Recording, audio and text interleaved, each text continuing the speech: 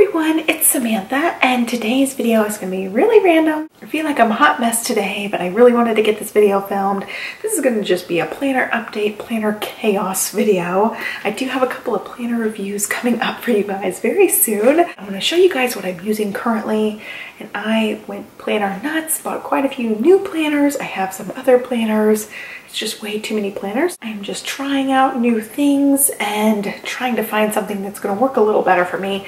I am getting planner burnout. So this is my planner. This is a plum paper planner with a Lime Life planner cover. So the cover actually sticks up just slightly. It's got one extra spot for a ring, but it actually ends up fitting really nicely. Other than that, it lines up with the coil really nicely. And I've been using this for most of the year. I used the simplified planner for, I don't know, maybe a month or so, but I went back to my plum paper planner and while I really like this planner, I don't know, I'm just bored with it at this point and it's such a first world problems thing. Uh, my planner works great, it's beautiful, the paper's nice, I am just in the market for something new and something different. I definitely want to spice up my planner life. I ended up getting a bunch of different stuff at Michael's and then I found something else at Target. So I had been actually looking at A5 size, like Filofax style with the rings, um, but I just haven't pulled the trigger on anything like that. I really like the simple stories uh, planners. I also like the Webster's Pages planners. So I was really debating between those two, maybe getting one of each. I really like the A5 size, which is the bigger size for those planners. But then I saw that Michaels was doing a personal size planner. So I went to Michael's and I ended up getting three of these smaller sizes. These are the personal size, so they are a bit smaller, but they were 30% off. They had a 30% off coupon last week. So I ended up getting three different colors and quite a few little inserts. So I will be doing a separate complete haul video of this, walking through the whole system that I picked up. I'm not sure if I'm gonna keep all three of these. I may just hold on to them because they were super cheap. Um, and I may still get the A5 size too. Like I am going full on planner addiction here. Planner hoarding, not even addiction, just flat out hoarding planners at this point. But I just needed a change. So I really love the, the binder system. I think it was last year that I tried out some Filofaxes and I didn't get the ones that had the band like this. I got them with an elastic across them and I ended up selling those. I just didn't really like them, but I'm hoping that like with the button strap, I like them a little bit better. So I'm gonna give these an honest try. My problem that I'm having these days is I can't keep all my blogging stuff, my to-do list stuff, my family appointments and all that stuff, my meal planning stuff, my budgeting stuff, all in the same planner. Then I end up carrying this stupid planner around with me all over the house and it's just not convenient.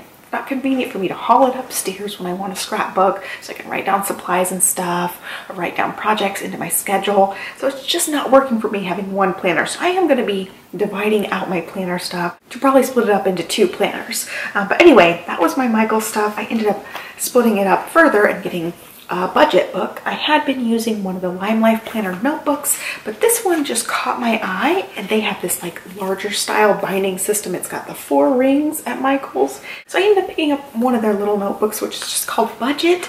And I really liked this one because it had um, a page like at the beginning of the month type of stuff. And it's also just an expense tracker.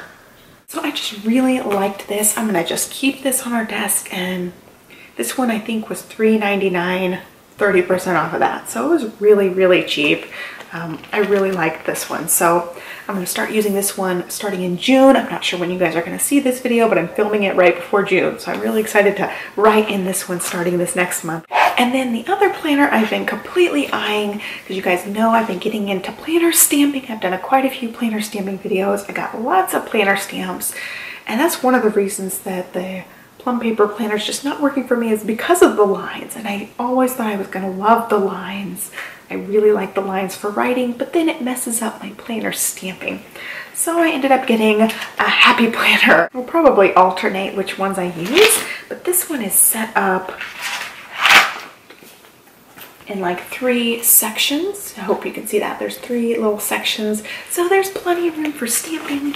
You can do a little stamp checklist. I've got lots of stamps that have the little check boxes like down in a line and they don't line up with the plum paper planner lines. So I do need an unlined one for that.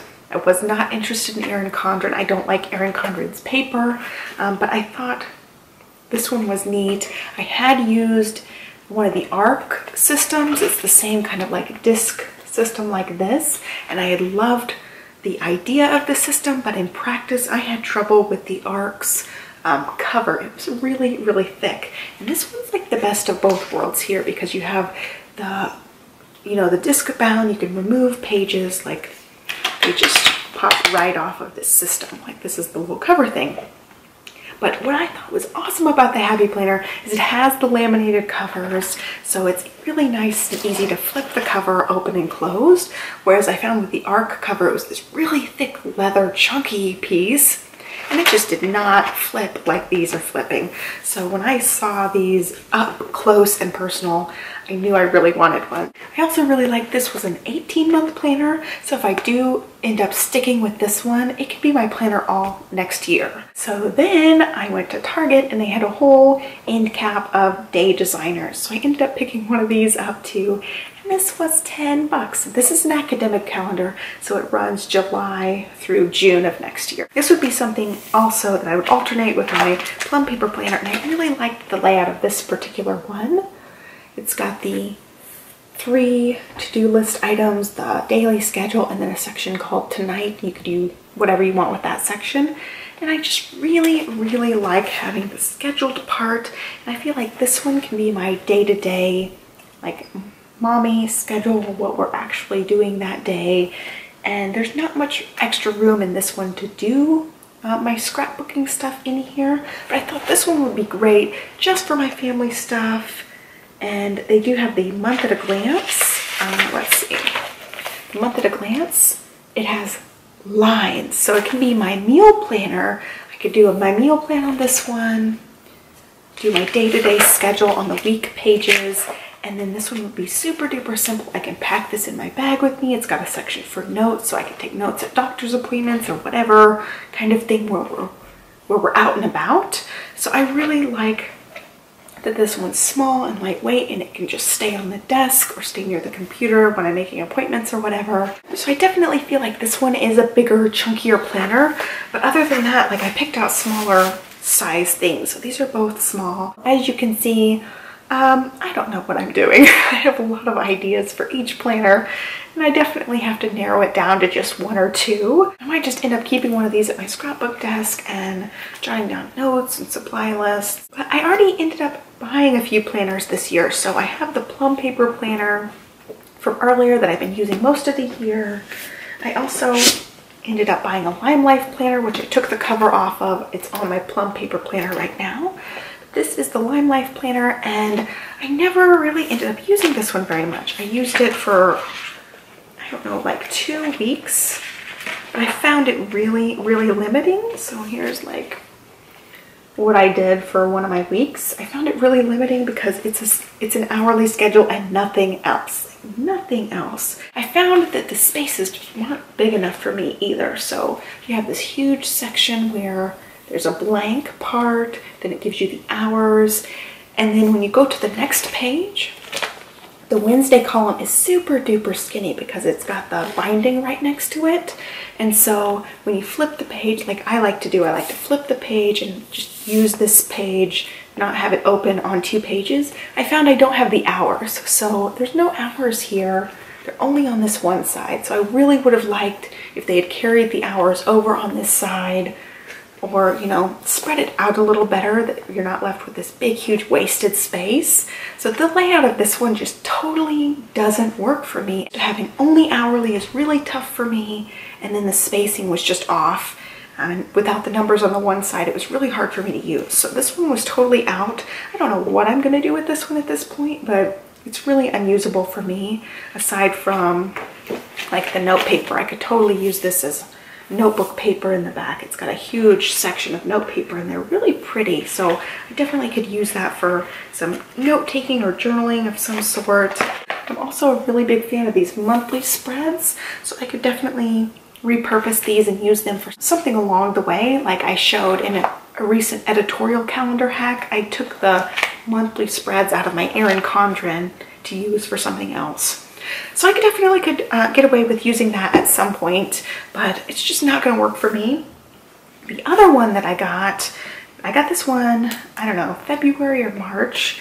It's the Simplified Planner and I really like certain things about this one and then I don't like certain things about this one.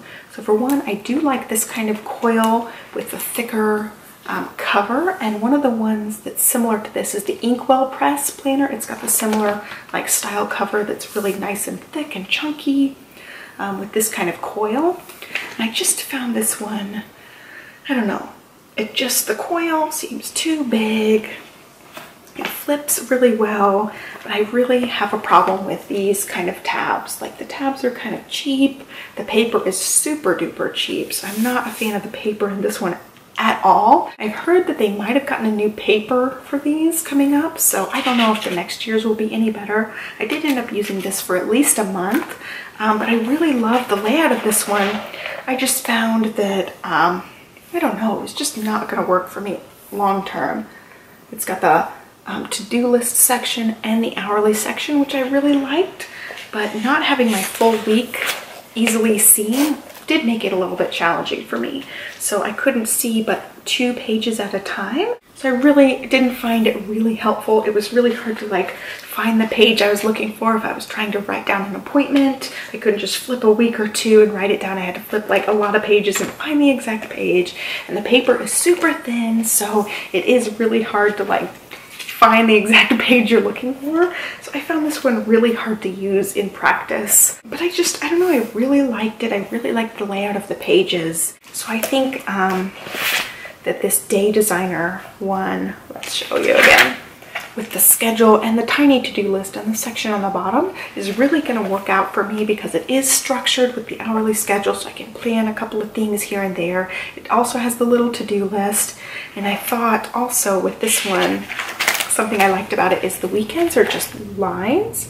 So I could definitely just take up the weekend spots and make like a running weekly to-do list or something because I don't have a really long to-do list every day. So I think that this one will really work for me. It's just really simple. It's already structured out. One of my problems with the plum paper planner is it is just so big and I don't end up using a whole bunch of it. Some days I don't write anything hardly down except like one or two to-do list things. This is the current week, so we're still working on the rest of the week, but it's just mainly a to-do list. It's hard for me to put the to-do list with my like other things that are going on that day. So it's really hard for me to keep it organized because it is just a straight down line. I haven't really liked the checklist section being at the bottom. If I was gonna use this as my to-do list, like my three main things, I would really want it at the top of my page. So having it at the very bottom, I totally forget about that section. Um, so I don't know, it's just, I'm not super in love with it right now. I've been using the Plum Paper Planner pretty much non-stop for a year and a half. I had this all of last year, so I'm just getting bored with it. I need something else. And so I'm just in planner transition. As you can see, I bought like one of everything. so I'm not exactly sure where I'm going in my planning, but now I definitely have a lot of options. So I just wanted to talk about what I've liked and what I've not liked about the planners that I do have. I wanted to show you guys the new ones that I'm considering. I have also thought about getting an Inkwell Press planner because I do really like their their columns that they have. It's a lined thing with some different sections at the bottom. And I really do like their system. So that's another one I'm thinking about. I think in the planner community, it's called your unicorn planner, like your perfect planner. People are always on the lookout for their absolute perfect system. Well, I am. I'm totally, you know, not 100% in love with any planner yet. It doesn't fit all of my needs. And while I love like the flexibility of the binding of these, I just, as a lefty, it is really hard for me to like write in these. I can't fold it over like I really like about my plum paper planner is I just fold over the page and you know have one page open at a time a lot of the time. So it's definitely something you can't do with these at all. And so the binder's in the way if I'm trying to write on this this page. my hand is here and I'm bumping into the binding. And so I don't know. I don't know if it's really gonna work for me. But I definitely love the flexibility that these kind of coils will provide because you can flip it all the way around.